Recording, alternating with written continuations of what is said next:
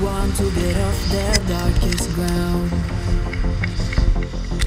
But gravity pulls you straight down. Earth from a bird's eye view. You should grow feathers and see this too.